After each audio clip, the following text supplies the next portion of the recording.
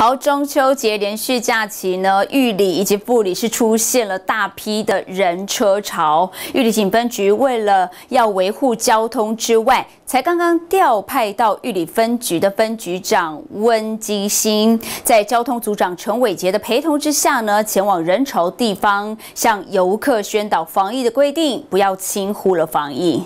中秋节连续假期，玉里、富里出现大批的旅游人潮。玉里警分局除了维护交通之外，才刚刚调派到玉里分局的分局长温基兴，在交通组长陈伟杰陪同之下，与各分驻派出所员警一同手持文宣宣导品，前往各风景区、观光胜地、餐厅等容易聚集人潮地方，向游客宣导防疫的规定。希望游客开心出游之际，也不要轻忽防疫。期间还是二级警戒了，啊，现在是中秋连。